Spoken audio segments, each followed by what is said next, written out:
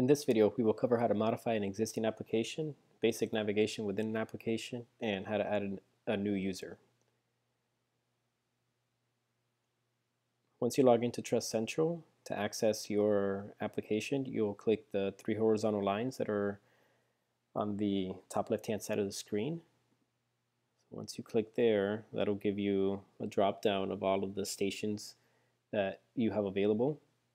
We want to go to the grant station and within the grant station, there's a couple of ways to access your application. You could see it under your recently modified. You can also see it by hovering over applications, and you might be able to see it under recent if you've worked on it recently. And you can also see it if you click applications, you'll get a list in a table view, a grid view of all the applications that you currently have. I only have one application, so I'm going to click that one, and that's my school health app that we created in a previous video. So once I click the application, it takes me to the main application page. And on here, I can do a few things.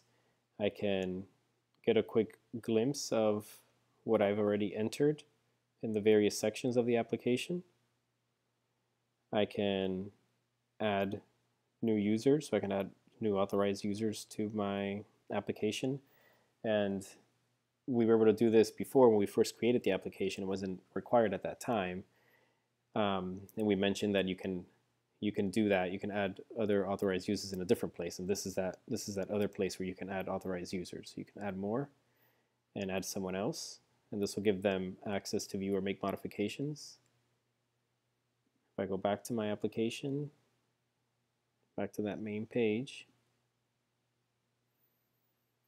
I can also view the solicitation.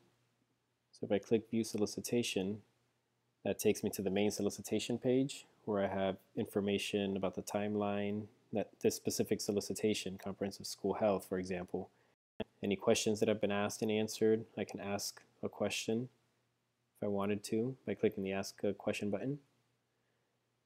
If I scroll down, I'll have specific information about the solicitation and I can also download those details. So these details that are down here, I can download in a PDF. Once I click the PDF button, I'll get a download of the solicitation. And if I want to modify the solicitation, my application, I can click the modify button. And so now this this view here within modify gives me the, the ability to now modify questions. I can answer questions and put in my responses and save. I can also, I can move into, I can navigate to other sections. If I go to the sections area, I click any of the other sections, it'll take me directly to those sections. There are various types of fields within the application you'll notice that in some of the sections you can expand to read a little bit more. There's some check boxes that you can check. There's also some open text fields where you can write in some text. I'm going to go now to a section that has more of a grid view, a table. So if you see a table, if for example if the table, if the section does not is not applicable to you. So let's say this partners and service linkage, I don't have any entries there. I don't, I wouldn't click new entry.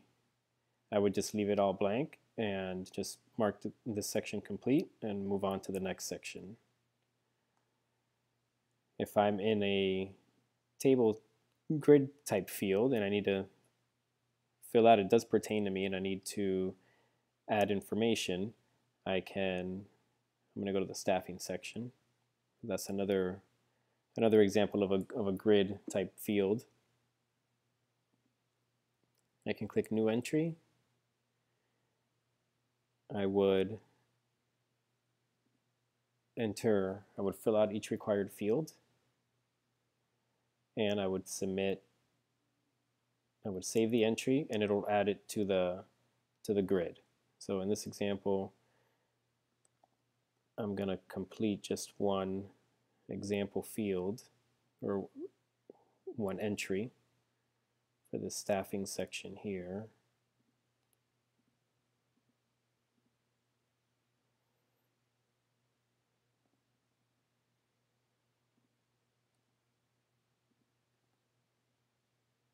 and I'm going to save it so you can see what it looks like.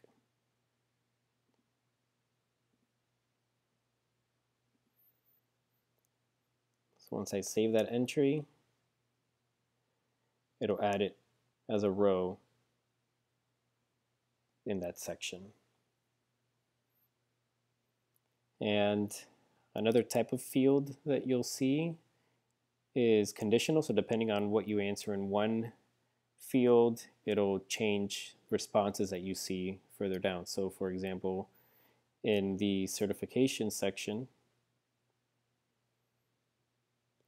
if I do not have a conflict of interest, if I click no here, that conflict of interest details section disappears. If I click yes, it stays there and I have to fill it out. But if I do not have it, if I do not have a conflict of interest, that section, that that text box disappears and I don't need to fill it out. So you'll see some examples of those. That is the, this concludes the video on modifying an existing application, basic navigation within an application, and adding a new user.